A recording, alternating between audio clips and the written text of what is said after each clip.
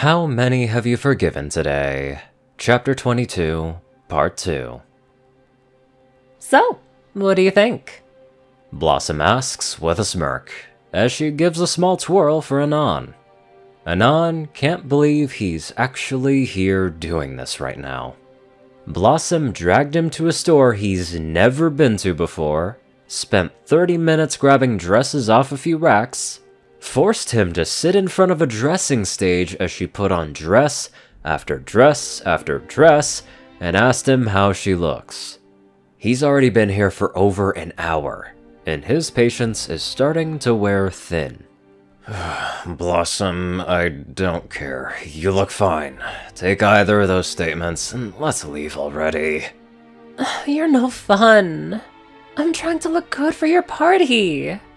Blossom states, as she looks herself in the various mirrors surrounding her on the stage. Why do you care what I think? Anon asks.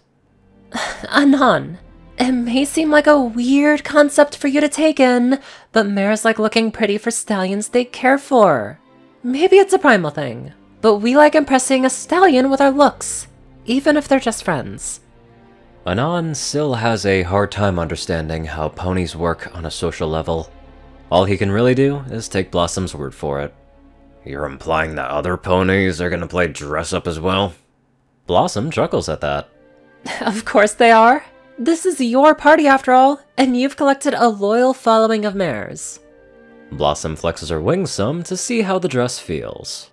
In fact, since you have so many friends that are mares, I'd expect most of them will go above and beyond to impress you with how they look. This is all confusing. Why? Blossom shrugs. Mares can get rather competitive with each other for a stallion's attention. Again, it's mostly a primal thing. Kinda like estrus. This is getting a lot more personal than Anon was hoping for. So he decides to change the subject. Uh, I assume wearing a dress into battle isn't a smart move. Blossom easily catches the hints to move on. Other than the surprise factor, it's never a good idea. Anon lets out a long sigh. He can't believe this turn of events. Now you're making me think I need a new suit. If everyone's going to go all out, then it seems appropriate that I at least try my best. It doesn't hurt to impress. I'm not looking to impress. Just make things even. Still, looking nice never hurt anyone. Blossom gives herself a single nod. Ugh, this dress will do fine. She turns to a mare next to her that's covered in used dresses. I'll take this one. And can your seamstress assist my stallion with a nice suit? He's got an important party coming up and a whole lot of mares vying for his attention. Your stallion? Anon scoffs. I wasn't aware our relationship had taken so many leaps and bounds. Blossom shrugs again. Get used to it, stud. You'd be surprised by how many mares want to make that thought into a reality. Anon has nothing to say about that. The fact is that he already knows of a single pony that tried and failed. He feels his mood sour a bit as his mind returns to Lyra. He just doesn't get it. He shakes those thoughts away as he returns his attention to Blossom. This world is confusing. There's so much of it that he doesn't understand. Right this way, sir. The mare that's covered in dresses speaks out as she turns and walks away. Anon is brought from the thought and is impressed by the fact that the mare is navigating with ease. Despite not being able to see anything, he decides to follow her as this is a good excuse to take his mind off of everything that's been happening. Blossom gives herself a once-over in the mirror. Yeah, I look sexy. Too bad she isn't interested in relationships anymore, but still, it's funny messing with Anon. Oh my, what a lovely dress. May I ask where you got it? Blossom looks over to see Fluttershy standing there. Oh, an interesting turn of events. Uh, yeah, over there. Blossom points Fluttershy towards a podium where Anon is standing, a mare taking his measurements. Blossom can hear Anon giving the mare various answers about what he is, and some other things that aren't important. However, Fluttershy's eyes widen as she instantly locks onto Anon. Uh, I didn't know Anon was here. Is he getting ready for the party too? He is. Fluttershy jumps a bit, having forgotten Blossom was there. Oh, you're a friend of his? Yeah, I'm also his guard. Captain Blossom of the Lunar Knights. Lunar Knights? That sounds important. It was at one time. Not so much nowadays. Blossom clears her throat. So I assume you're looking to get something for his party as well? Fluttershy nods with a small blush. Yes, it seems like an important party, so I thought dressing up would be nice. Hmm, for the party? Or for Anon? Blossom remarks with a smirk. Fluttershy's wings snap open at hearing that. What?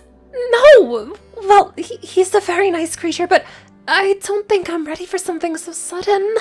I mean, we barely even know each other. Don't worry, I'm just messing with you. Fluttershy lets out a sigh. Okay, I did mean what I said though. He's very sweet. Complicated. But yeah, he's sweet. Fluttershy snaps back to why she came to the store in the first place. Sorry to have bothered you. I think I'll just look at the dresses over there. She points to an area exactly opposite of where Anon is. Still a few hours left till the party. Good luck in finding something nice. Thank you. Have a good night, Blossom. You too, Fluttershy. Fluttershy hides behind her mane as she walks off to the other side of the store. As Blossom turns to where Anon was, she notices that he's already walking towards her. It seems that he's a little bit irritated, but hasn't noticed Fluttershy at all. Are you done yet? He asks, as soon as he's standing beside Blossom. Yep. You? Yeah, the only saving grace of that mare is that she's fast. Anon lets out a long sigh. I hate getting clothes made. Anon walks past Blossom as he heads on over to the cash register. Standing there is the mare that was once covered in clothes. She already has a suit sitting beside the register, neatly folded and waiting for packaging. How much for the dress and suit? Anon asks. 600 bits. The mayor answers. Anon doesn't hesitate as he pulls out the bits and places them on the counter. The mayor is quick to putting his belonging into the bag. Anon waits as Blossom takes off her dress and the mayor carefully places it into the bag as well. Let's get out of here, Anon states as he grabs the bag and walks out of the store. It seems that whatever Anon experienced with Twilight has made him hate getting his measurements taken. But then again, maybe it wasn't Twilight that put that anger into him. I must admit you look lovely, sister. How long has it been since you've used your natural mane in public? Luna asks. For quite some time. I do hope it doesn't draw too much of a crowd at the party. Luna giggles. Luck is on your side. Anon's not known for having large parties. Though I'm sure there will be a few ponies that will take notice. Though you won't go this path alone. Luna looks herself over in the mirror as she drags her sister to her side with a wing. Gaze upon our beauty, Tia. Why, I remember a time when ponies would weep to see their leaders in such a way. Celestia takes a moment to actually look not only at herself, but her sister as well. She does a few sidelong poses to get a better look at herself, and Luna's right. They do look rather fit for this night. It makes me wonder why we don't do this more. Well, to be honest, I only wish to look this good for Anon. I feel my beauty would be wasted on those that fall to the wayside. A sentiment that I mirror, though it's hard to look like this for Anon all the time. Luna nods. That is true. So we will keep this special for him. We wouldn't want to bore him too quickly, right? Right. Luna looks over to the clock and catches the time. Perfect. The party is just about to start. Quickly, Tia, we must return to the dining hall. I'll be right with you, Lulu. Give me one moment. Very well, but do not keep the party waiting. Luna takes off and leaves Celestia alone. Celestia is looking at herself in the mirror as she takes in a few deep breaths. She needs to calm down before Anon sees her. She doesn't want him possibly seeing through her with that gaze of his. Celestia shivers some. Oh, how I hope for this to become the fairy tale I've always wished for. She can think of no one better than Anon, and while she knows it'll be rough, it's something worth fighting for. Ready, stud? Blossom asks as Anon puts on a suit. Just about. Time. Five minutes. We'll get there. Anon looks past his mirror and at the reflection of Blossom as she rests on his bed. I. Anon looks away from Blossom as she looks over at him. I enjoyed today, Blossom.